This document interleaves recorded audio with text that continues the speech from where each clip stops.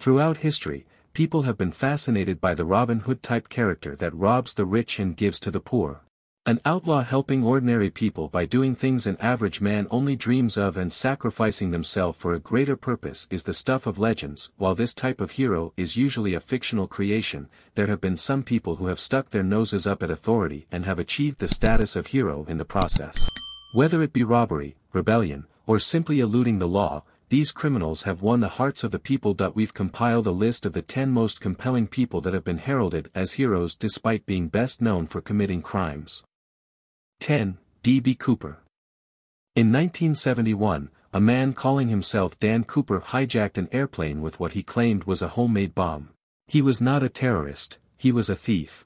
Cooper may have been the most interesting thief of all time. He demanded $200,000 and four parachutes. When the plane landed in Seattle, his demands were met. After letting the passengers deboard, he demanded the crew fly him to Mexico City at a low altitude. However, while passing over the Lewis River in Oregon, Cooper jumped out of the plane with his parachute and a briefcase full of money.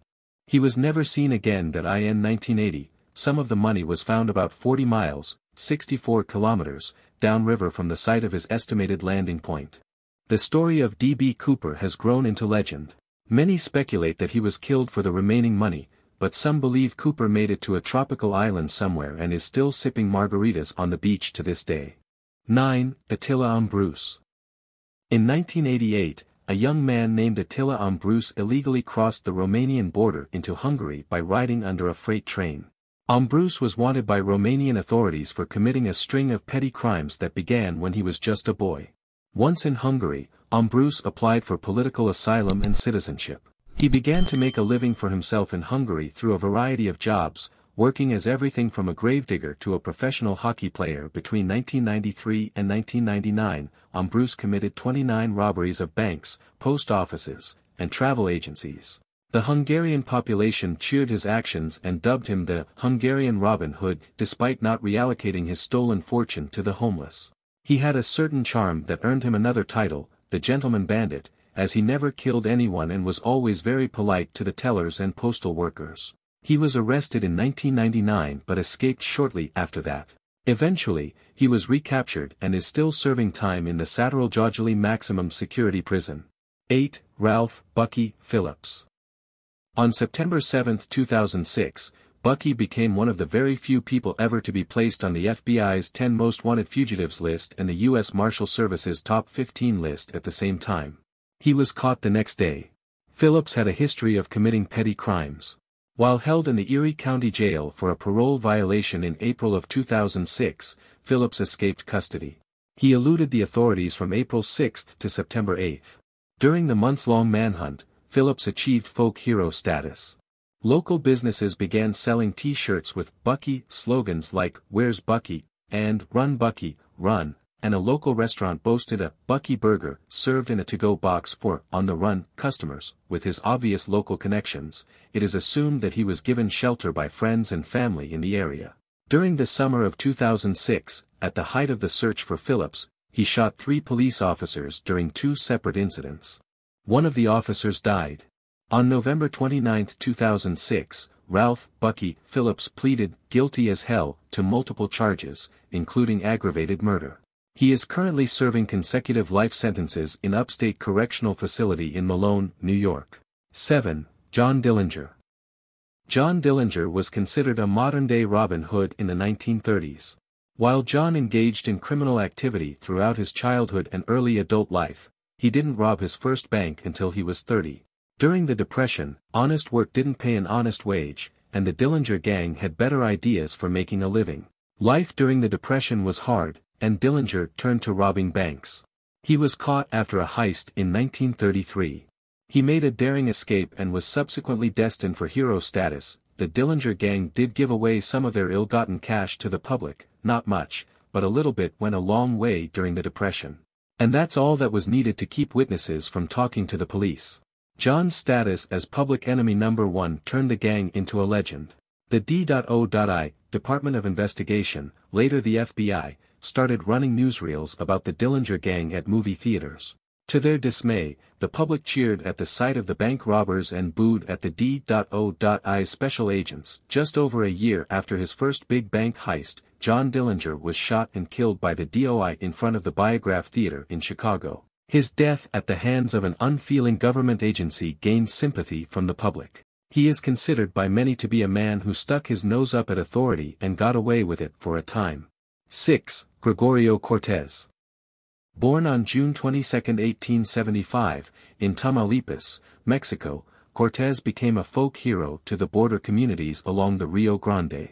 Cortez was involved in an altercation in June of 1901, which resulted in the death of Sheriff W. T. Morris.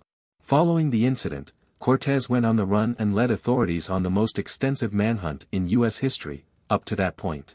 He was captured in late June and was accused of murdering two sheriffs.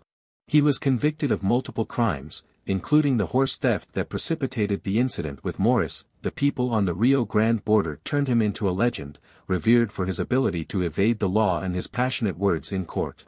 His legend was popularized by the song, Corrido de Gregorio Cortez, and the film The Ballad of Gregorio Cortez starring Edward James Olmos. Gregorio was given a 50-year sentence for horse theft. However, he was pardoned by Texas Governor Oscar Colquitt in 1913. On February 28, 1916, however, Cortez died of unknown causes.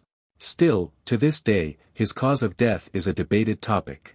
Gregorio is remembered as a simple man trying to make a living who rebelled against the persecution and oppression of both the American and Mexican governments and got away with it.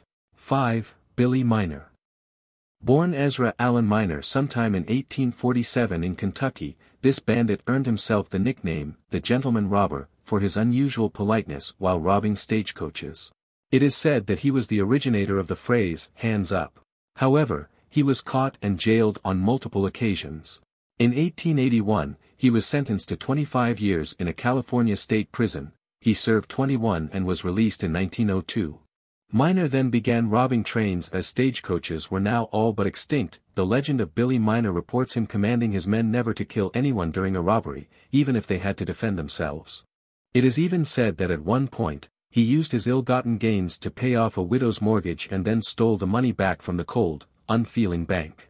He spent 18 months under the assumed name George Edwards in the Canadian city of Kamloops. He was popular with the town folk and was never suspected of being a criminal. However, authorities never gave up the search for Miner. He was eventually captured and sentenced to life in the British Columbia Penitentiary. He escaped multiple times but was always recaptured, and shortly after his last escape and recapture, he died in that prison in 1913. 4. Frank Abagnale As the inspiration for the film Catch Me If You Can, Abagnale was a world-famous con man by the age of 21. He started using fraudulent checks at 16 years old, and by the time he was 21, he had written over $2 million worth. He was caught in 1971. He served just two of his 12-year sentence and was released early in exchange for helping the FBI catch other con men. However, he continued as a con artist and posed as an airline pilot while running scams on the side for money that he stole, lied, and cheated almost as easily as most people breathe. It was in his nature to do so, but the authorities were on to him, and he was getting caught more often than not. Finally, Abagnale decided to turn over a new leaf and worked with the FBI for more than 30 years as one of the world's foremost experts on document fraud, check swindling, forgery, and embezzlement. Today he owns and operates a fraud consulting company that has served more than 14,000 banks and companies. He has achieved the status of a hero among countless Americans. 3. Georgia Durante Georgia Durante has lived one of the most interesting lives in modern American history. A model at the age of 12, she was a Kodak girl by the age of 17. By the age of 20, she had experienced and endured more than most people ever will. She had survived rape, involvement in a mob war, and an abusive marriage. Her second marriage landed her as a getaway driver for the mob. After the birth of her daughter, she fled from New York to Los Angeles, where she became one of the most successful commercial stunt drivers in the country. Since then, she has created her own stunt company, which has worked on over 100 movies. She has written an autobiography, The Company She Keeps, and she gives speeches around the country on her experience with domestic violence. Durante is considered a hero to many women that have gained strength from their shared experiences of abuse. 2. Kweisi Mfume. Kweisi Mfume has served as president and CEO of the NAACP, a member of the Baltimore City Council, and currently as a member of the U.S. House of Representatives. While Mfume was never a career criminal like the rest of the members of our prestigious list, he did have some run-ins with the law in his formative years. It is speculated that Mfume became involved with Baltimore-based gangs after the death of his mother. In 1996 he published an autobiography entitled No Free Ride. In it, he confesses that he had been locked up on multiple occasions for suspicion of theft. Today, Kweisi Mfume is a hero to many young underprivileged children in Baltimore. 1. Junior Johnson Born in 1931, Robert Glenn Johnson Jr. was the son of a bootlegger and grew up in the family business. Johnson, a legend in the NASCAR community, served as a direct link between the sport's origins and the modern-day phenomena of stock car racing. Johnson spent nearly a third of his life behind bars due to his criminal activities. While serving time in 1986, he was pardoned by President Reagan. Johnson was an innovator in the car, however, and devised a successful method of drafting that helped him win the Daytona 500 in 1960. In 1966, he retired from driving with 50 Grand National wins, making him the winningest driver to never win a championship. Outside of NASCAR, Johnson was best known as the subject of Tom Wolfe's landmark 1965 essay, The Last American Hero is Junior Johnson. Yes. Johnson died in 2019 at the age of 88, he is considered a hero by thousands of NASCAR fans.